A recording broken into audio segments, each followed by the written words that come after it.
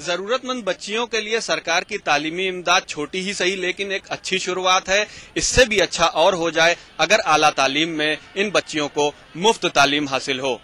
Camera person Wasim Ahmad के साथ Tanzeer Ansar ETV news Meerut.